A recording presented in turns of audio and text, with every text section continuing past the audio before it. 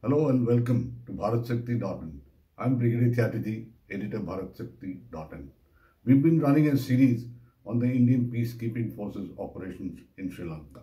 We've had about six episodes so far, starting with an interview of the IPKF's force commander and carrying on with the other sectors. This is another episode that we're going to have for you now.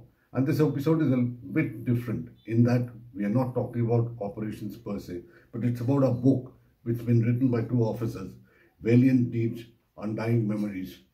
The book has been written by Colonel Atul Kochhar and Colonel B.R. Nair.